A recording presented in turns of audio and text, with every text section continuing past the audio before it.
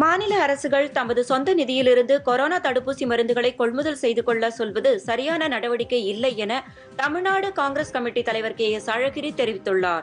இது தொடர்பாக அவர் வெளியிட்டுள்ள அறிக்கையில் மருந்து உற்பத்தி அதிகரிக்கும் போது விலை குறைவு ஏற்பட வேண்டுமே தவிர விலையேற்றம் கூடாது என கூறியுள்ளார்.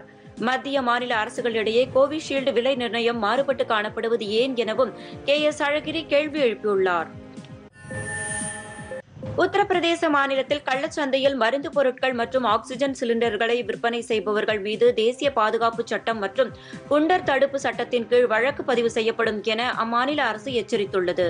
நேற்று நடைபெற்ற கொரோனா தடுப்பு நடவடிக்கை ஆய்வுக் கூட்டத்தில் பேசிய அம்மாநில முதலமைச்சர் யோகி ஆதித்யநாத் கொரோனா நோய் தொற்று பரவல் அதிகரித்து வரும் வேளையில் கள்ளச்சந்தையில் மருந்து பொருட்கள் விற்பனை செய்தால் கடும் நடவடிக்கை மேற்கொள்ளப்படும் என தெரிவித்தார். மாநிலத்தின் அனைத்து மாவட்டங்களிலும் கொரோனா சிகிச்சை மையங்களில் படுக்கை வசதிகளை அதிகரிக்க செய்யுமாறு அதிகாரிகளிடம் அறிவுறுத்தப்பட்டுள்ளதாகவும் கூறினார். தில்லி எய்ம்ஸ் மருத்துவமனையில் சுகாதார பணியாளர்களுக்கு கொரோனா வைரஸ் தொற்று அறிகுறி தென்பட்டால் உடனடியாக பரிசோதனை நடத்த உத்தரவிடப்பட்டுள்ளது. ஒருவேளை இவர்களுக்கு வைரஸ் தொற்று உறுதி செய்யப்பட்டால் உடனடியாக தனிமைப்படுத்தவும் இவர்களுடன் தொடர்புடையவர்களை கண்டறியவும் முடிவு செய்யப்பட்டுள்ளது. கொரோனா பரவல் அதிகரித்து வருவதால் தில்லி எய்ம்ஸ் மருத்துவமனை இந்த நடவடிக்கையை எடுத்துள்ளது.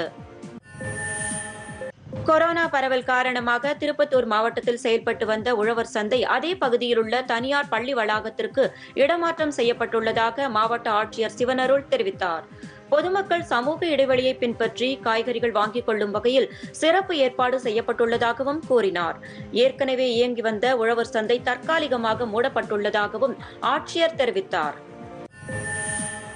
புதுக்கோட்டை மாவட்டம் கந்தர்வக்கோட்டை அருகே உள்ள பகட்டுவான்பட்டி கிராமத்தில் கொத்தடிமைகளாக வேலை பார்த்து வந்த ஏழு பேரை தொழிலாளர் நலத்துறையினர் வருவாய்த்துறையினர் மீட்டனர். திருவண்ணாமலை மாவட்டம் வந்தவாசியைச் சேர்ந்த இந்த ஏழு பேரும் கரும்பு தோட்டத்தில் கொத்தடிமைகளாக வேலை பார்த்து வருவதாக கிடைத்த தகவலின் பேரில் காவல்துறையினர் தொழிலாளர் நலத்துறையினர் மற்றும் வருவாய்த்துறையினர் நேரில் சென்று விசாரணை நடத்தினர்.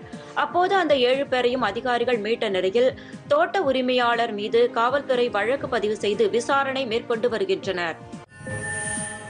கொரோனா தொற்று வேகமாக பரவி வருவதால் திருவண்ணாமலையில் சித்ரா பௌர்ணமி கிரிவலத்திற்கு தடை விதிக்கப்பட்டுள்ளது. பஞ்சபூதங்களில் அக்னி ஸ்தலமாக திகழும் திருவண்ணாமலை அருணாச்சலேஸ்வரர் கோயிலில் பதினான்கு கிலோமீட்டர் மலை சுற்றுப்பாதையில் ஒவ்வொரு மாதமும் பௌர்ணமி நாட்களில் ஆயிரக்கணக்கான பக்தர்கள் கிரிவலம் வருவது வழக்கம்.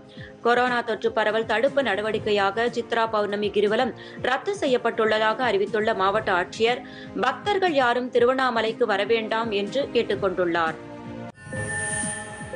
தமிழக கர்நாடக மாநில எல்லைப் பகுதியில் கொரோனா தடுப்பு உபகரணங்கள் வழங்கி பொதுமக்களுக்கு விழிப்புணர்வு ஏற்படுத்தப்பட்டது.